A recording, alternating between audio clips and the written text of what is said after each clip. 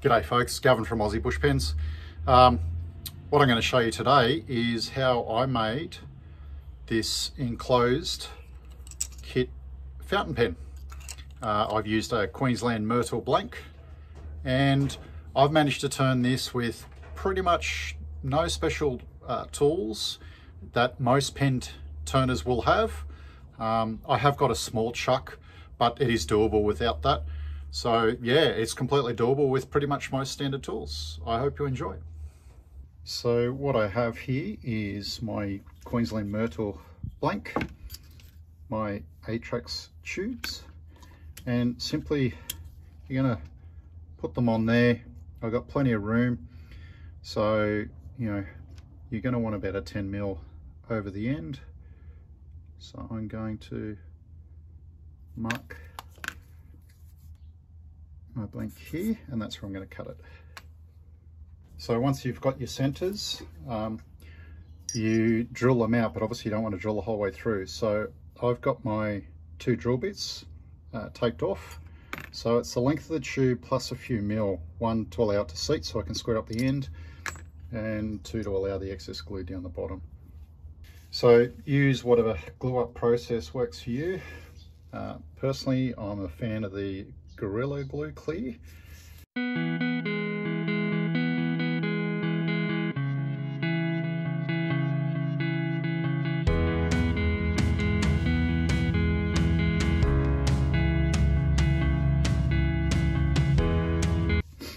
Righto, so all glued in. Um, I'll see you in a bit over 24 hours. Now that you've got your ends glued up, you need to true them up. What I've got for that is a mill head with a shaft that I've ground down, I don't know, 10 mil or so. Now you can buy these shafts individually from a couple of suppliers here in Australia. Uh, they're easy to find. So I'm not wasting one per se. Uh, I bought this individual one just to do this.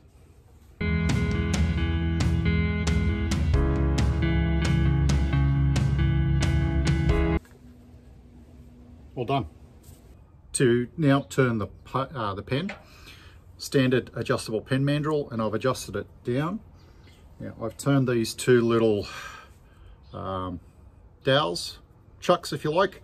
They're firm in each tube, but not tight, so that way I can get them out. But in the end, it doesn't matter. You can drill them out because they're pretty quick and easy to make. So dowel in there. I'm still using a bushing.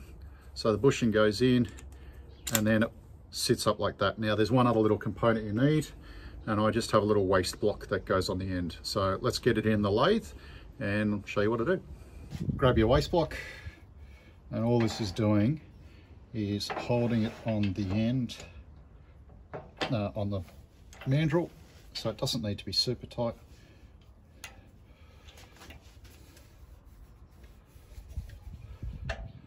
Tailstock adjusted so safety glasses on and turn down as you normally would.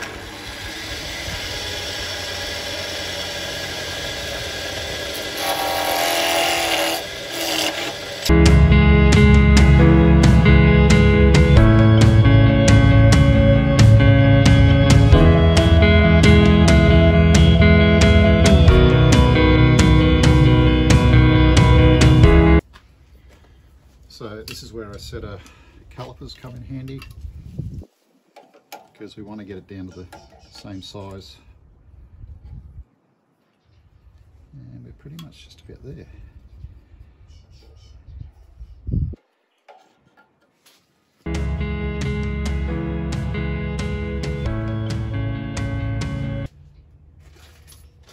Now what you can do so you get the right shape because we know that the holes only just as long as the tube length, maybe a fraction more. If you want, you can get your tube to then measure your length. But I'm trying to make a more or less matching set, so I'm going to get my first one I made. And that's going to be my end.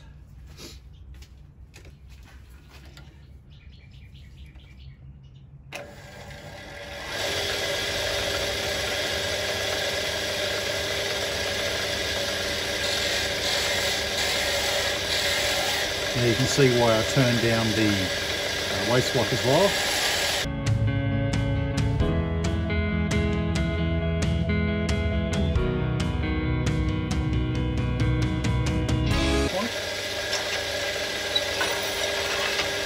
The normal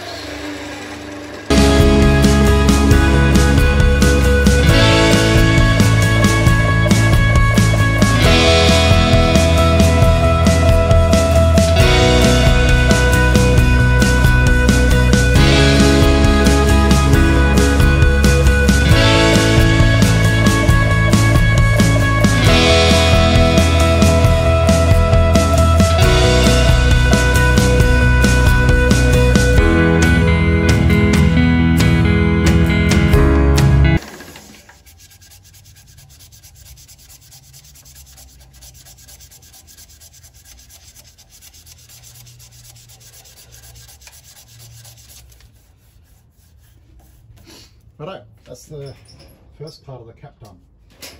Now I don't turn it off, I don't turn that knob off because there's a sort of wobble. Um, and I'll show you what I do with the cap in a little bit. So, just comes off. And then to, to get that little plug out, that's all I do. Now, I'm just going to do the same with the body.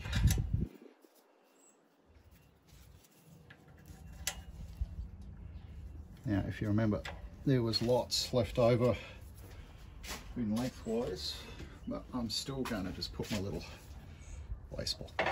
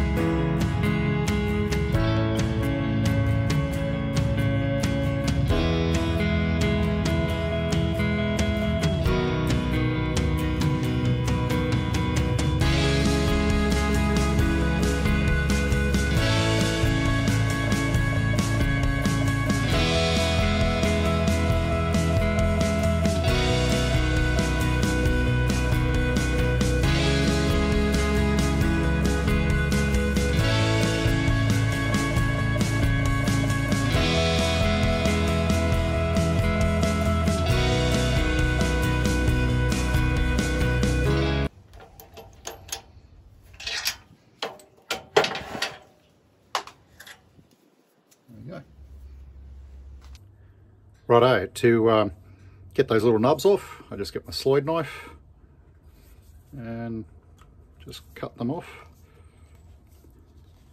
This is a nice hard Queensland myrtle, so it's going to take a little bit more. on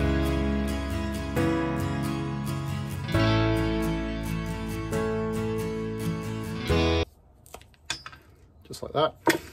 And then to finish the ends, flat sheet, I use a little sander. This sander my drop press.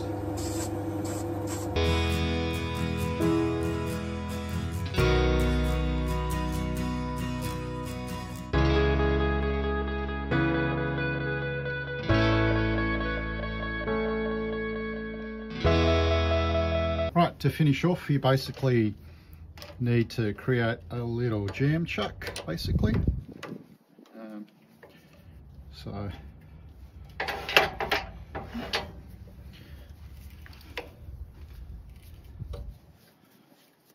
I've just got a little waste piece of waste piece of pine here. Nothing spectacular. And I just turn a new one down every time.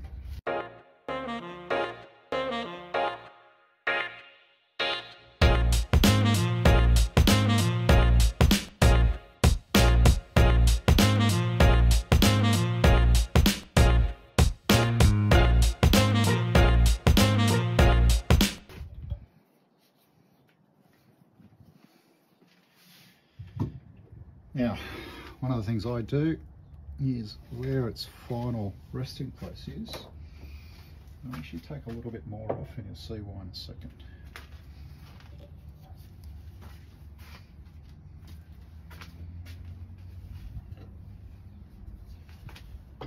Just trying to find the right tool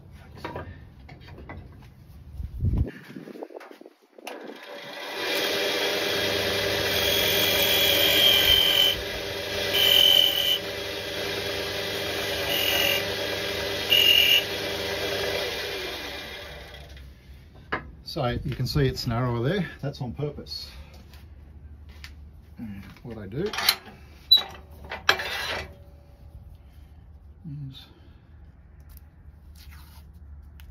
I get a little bit of tape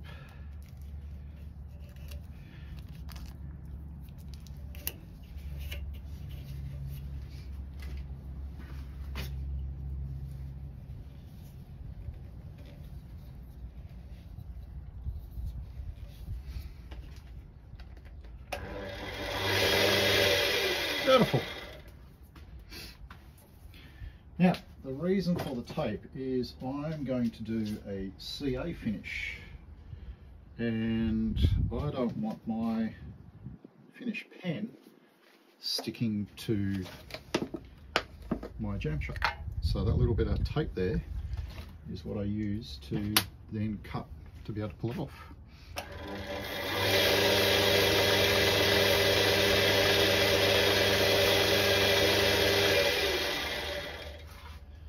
Just a bit of metho to give it a clean down.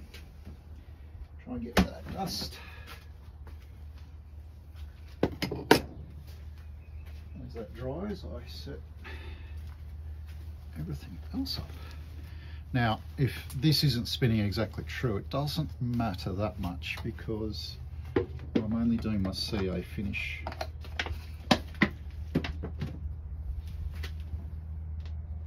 Obviously you want it to be as close as possible.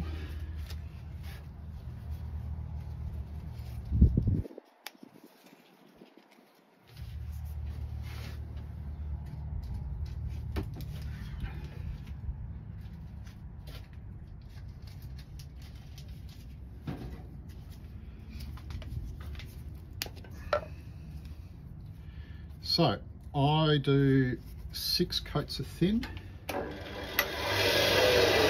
then nine coats of medium. But I'll fast forward through this guys, it's how you do your finishes up to you.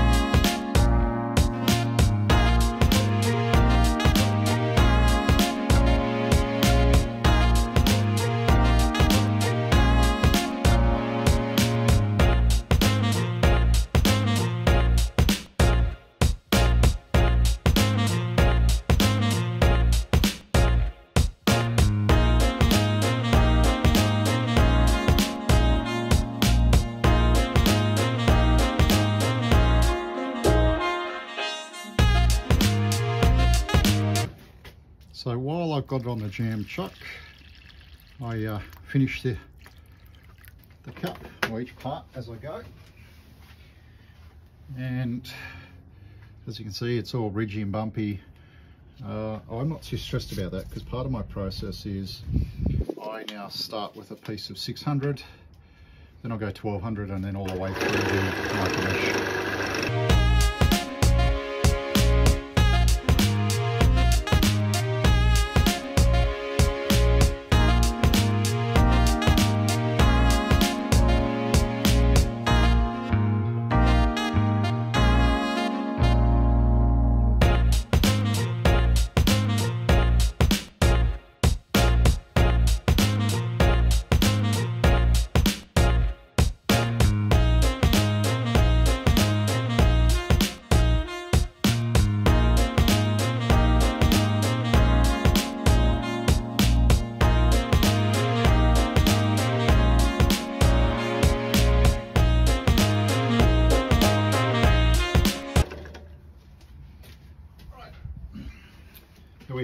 Finished pen. As said, there's now it's now glued to that tape.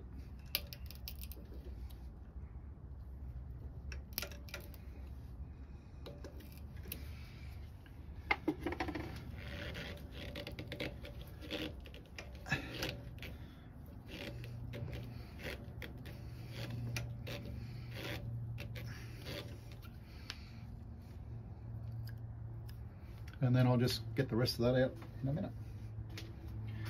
Stand by. Righto. Now to do the body, obviously it's not going to go on the cap, so I just turn this down.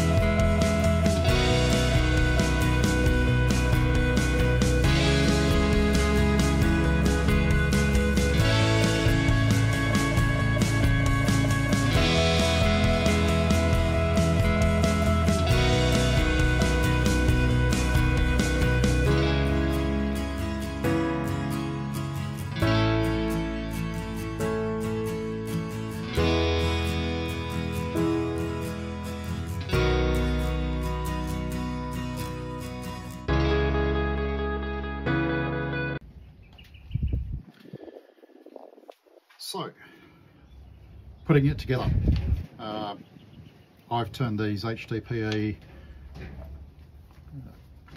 bits for my lathe with the Morse taper and that's how I put my pins together. So I use, well, not only they are soft, but I also use a little bit of this because the last thing we want to do is now all that hard work. For this pen, I've decided on gold probably because it was just the first one I picked up.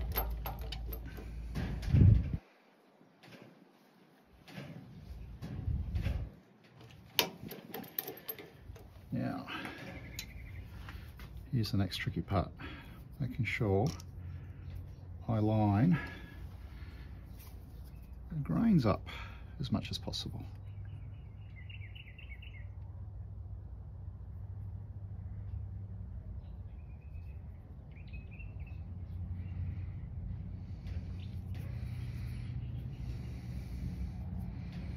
Yep, I'm happy with it there.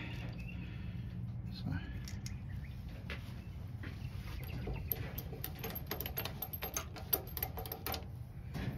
Got my hand back in.